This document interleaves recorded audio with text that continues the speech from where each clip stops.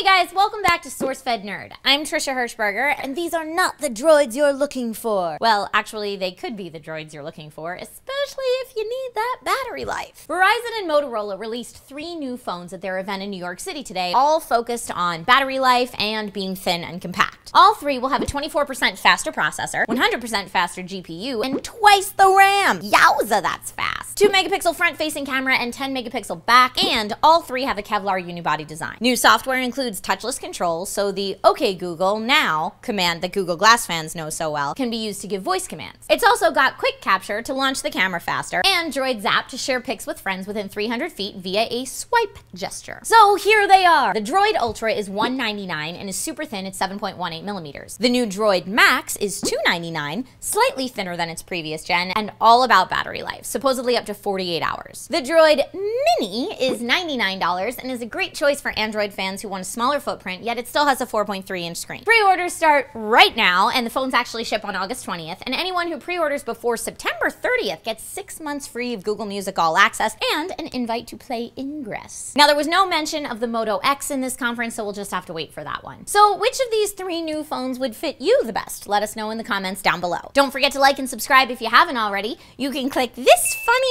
annotation if you want to see some other videos we do, or go to sourcefed.com for all our newsy typed out stuff. My name's Trisha Hershberger, and is Superman's jawline usually this big?